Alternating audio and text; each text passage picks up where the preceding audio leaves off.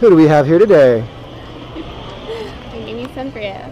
And what are you about to do, Andrea? I am about to go skydiving. oh my goodness. Well, you got this cool looking jumpsuit on, this nice looking harness. Wait, this harness is held together with rubber bands? Let's check out your parachute. Um, you no. don't have a parachute. Do you have a plan for not having a parachute? Um, I should. You should have a plan for not having a parachute.